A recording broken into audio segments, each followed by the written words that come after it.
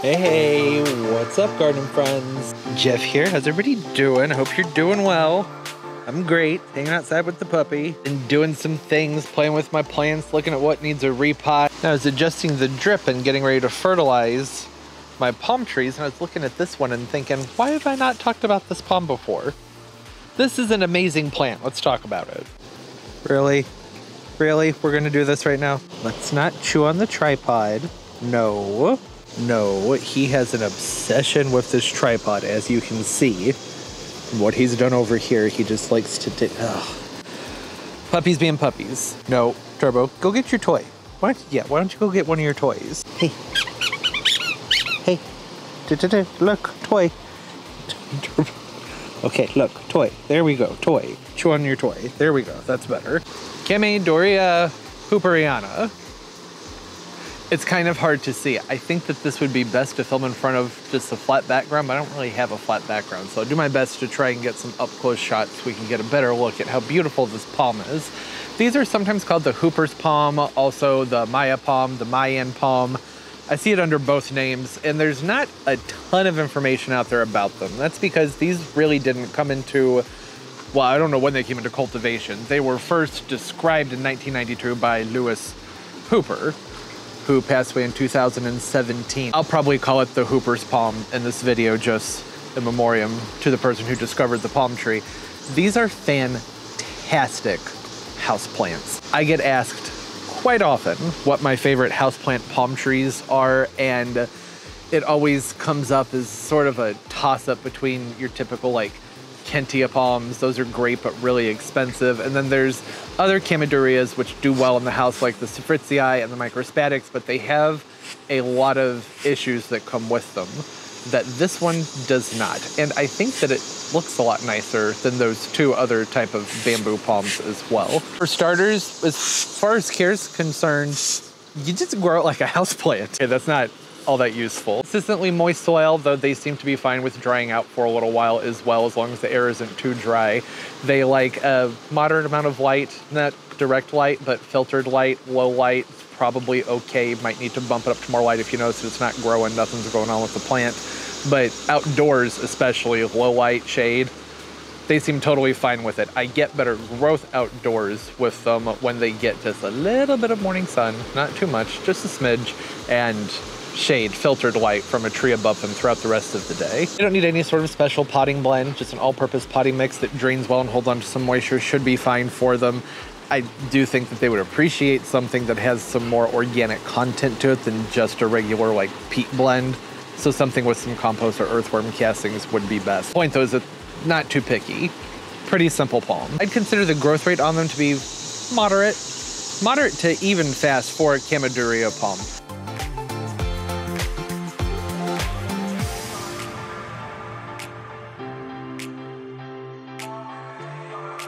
Outdoors during the summer, much more quick. Inside, average household temperature around 70 or so, with I'd say a medium amount of light, maybe a little bit more on the moderate to slow side as far as how often they throw out those new fronds. During the growing season, I've just been fertilizing with Palm Gain. That's usually my go-to palm fertilizer. Most of the palm trees seem to appreciate it. I also, uh, last year, had some trouble getting a hold of Palm Gain and just used Plant Tone, and it worked well too because like I said, pretty simple palm tree. They're not too fussy. Or a palm that I would consider to be a great houseplant palm, these don't get too terribly large. Anywhere from 10 to 17 feet is what to be expected. I know that's a really broad range. So there's not a ton of information, like I mentioned before, as far as just accounts of people growing these. They're not super common, though they are gaining popularity, which I'm really happy about. Imagine the 17 foot is probably going to be more what you see outdoors in their preferred climate and preferred conditions. Indoors, 10 to 12 feet would seem more reasonable. And of course, eventually they'll want to get as tall as they want to get, as tall as they're programmed to get. But indoors, that's going to take longer. So you get more longevity out of this particular palm than maybe you would something like a Seifrizii bamboo palm, which can get quite large, quite fast. They get leggy, they're prone to fungal diseases and pests. While those are fun houseplant palms, they also, it's, it's a mixed bag. The Mayan palms or Hooper's palms, they are nowhere near as prone to the different fungal problems that those other bamboo palms are prone to. Their leaves, the fronds, the pinnae really, are much more thick and dense.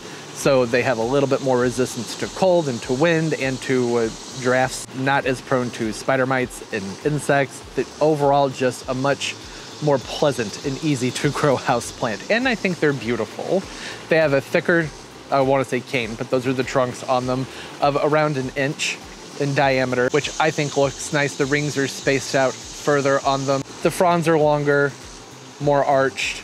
Pinnae are spaced a little bit further apart, and they just, in my opinion, look more graceful and more pleasing to the eye. And from what I gather, these are fairly relatively easy to germinate from seed. The inflorescence on these, it's absolutely beautiful. It is a bright, vibrant orange that comes out from those trunks, arches down, gets covered in the seeds. Really striking and vibrant. I've been growing this particular palm for quite some time now, and there have only been two things that have stood out to me that bother me. They're not even really big issues either. The first one is that I have to acclimate this to coming outside very, very slowly. If you follow my channel, you might remember in the springtime I brought this out and stuck it in what I thought was basically pure shade, but it still had some scorch on the leaves from the morning sun that barely hit it, but it, it, it hit it and it was like, no, absolutely not.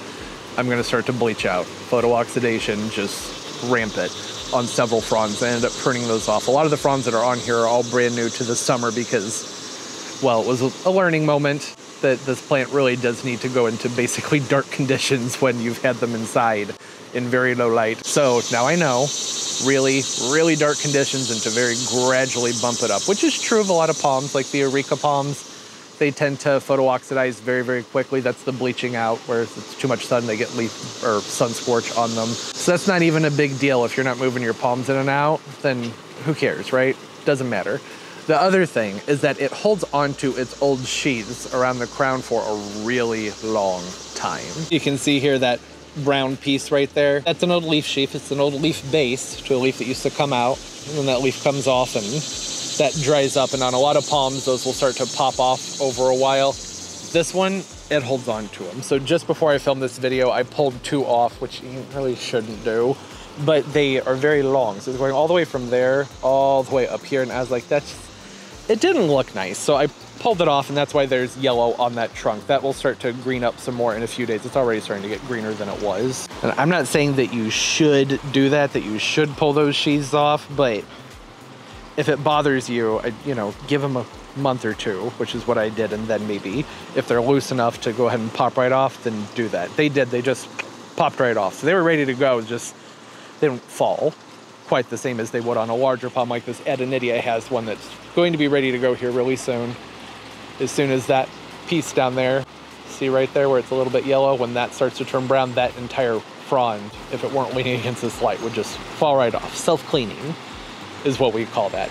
And while I would probably consider this a self-cleaning palm, it would just take it a long time to do that cleaning because they, like I said, they hold on to those for a long time. Just a thing of aesthetics. It's not really a big deal. Then as I said before, I really would just grow this like I would any other house plant. Keep it away from drafts, give it the light that it wants, keep the soil consistently moist. If it dries out some, really not a big deal unless you live in a super arid climate or maybe your house is very, very warm, like over 75 to 77 degrees Fahrenheit. Last winter, I kept this in my garage where it was fairly cool. I mean, it dropped into the 40s and 50s and I just splashed water on it about once a month and it got through the winter, no problem. It was totally fine.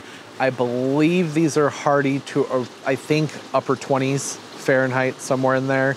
I don't know. That's an area I haven't dug too deeply because in zone 6B, it gets very cold here. So keeping it outside all year is not even an option for me. I believe where Hooper discovered this palm was somewhere, I want Veracruz, Mexico might be what I read online at an altitude of I think 1,000 to 2,500 feet somewhere in there, which is actually a fairly narrow range, but it still seems to be a pretty versatile plant. Sometimes when a plant is in a more narrow range, as far as their altitude and their spread from where you'll find the plant, you won't have as much versatility for how you can grow them.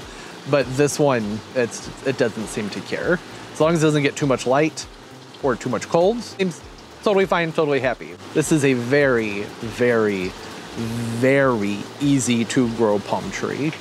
It's not going to throw the types of fits that you get with your Majesty palms, for example.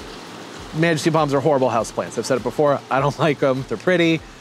They're produced in mass, and I just I feel like they set people up for failure, oftentimes. Unless you have a really really bright room with lots of warmth and humidity, then they tend to not flourish. You might get them by in other conditions, but they won't flourish. Whereas this, it just it grows. It looks nice. It's pretty. It's elegant has a similar elegance to a Kentia palm, but you still get some of the stringiness because they have those thin canes on them, which I'm okay with. I actually like those canes. Not canes, trunks. They're ringed trunks is what I should call them.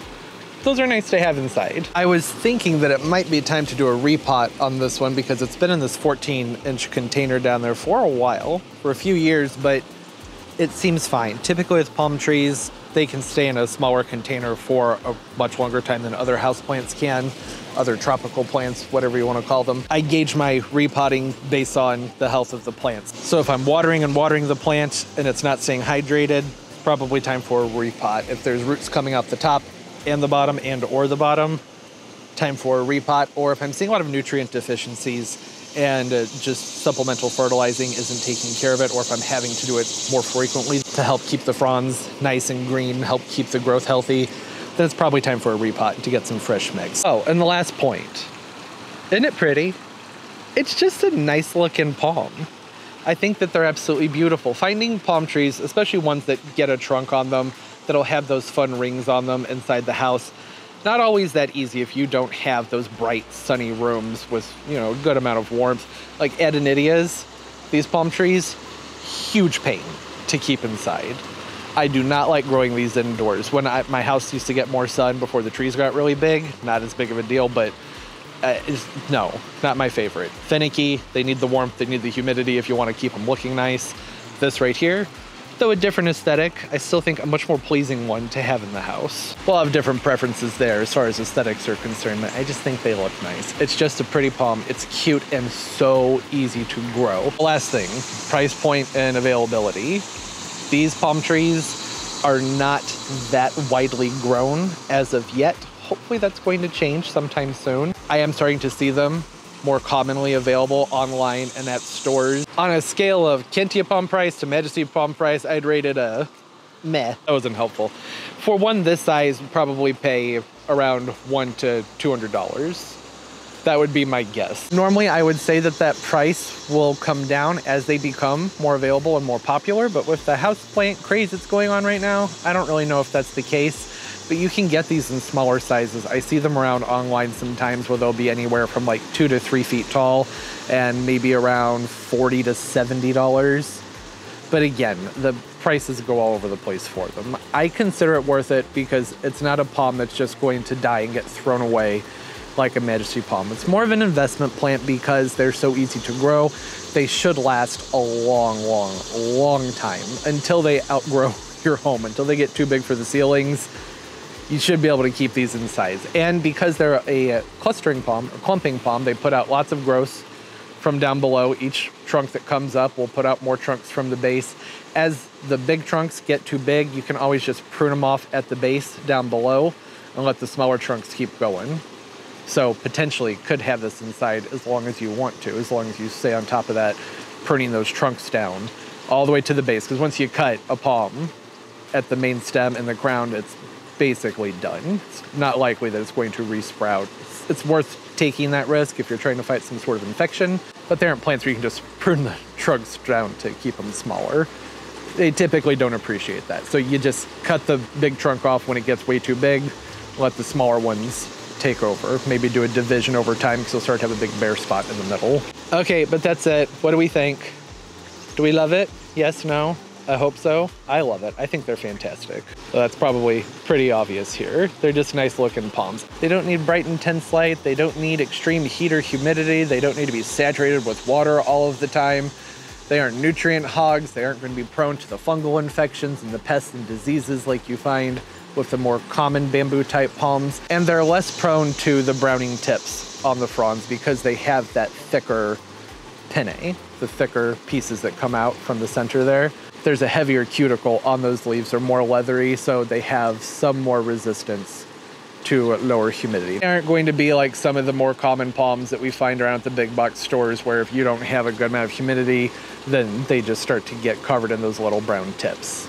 They get some, but not that many. Not anywhere to a point like a lot of the others do. All right, that's it. The Maya palm, Mayan palm, Hooper's palm, Hooperiana. Excellent palm tree. Comment down below what are some of your experiences with this palm or what are some of your favorite houseplant type palms. Because again, I'm kind of basing this video off of that. It's just a plant I would love more people to grow. Would be so nice to see this more popular in cultivation and out at the nurseries and places for people who want something that looks nice in the house but isn't going to be a lot of maintenance and uh, not just die on you like a Majesty palm might do. Majesty palms are pretty, don't get me wrong. I did a whole video on them and I think I made it pretty clear why I feel the way I do about them. Just saying that these are better. Much more expensive, not as easy to get a hold of. If you can find one and it's the right price point for you, I'd nab it up because it's a plant that you'll be able to have around for a long time. Really something you'll be able to enjoy and appreciate having houseplants that live a long time is so nice. You can pass them down through generations. I don't know if this is quite to that extreme of longevity, but potentially, if you keep it pruned down and keep dividing it up, then I don't see why you couldn't have one of these for decades. All right, I hope everybody's doing well, having a great day and a great life, and everything's just going absolutely beautifully for you. And of course, as always, and most importantly, everybody, keep on growing. Bye bye.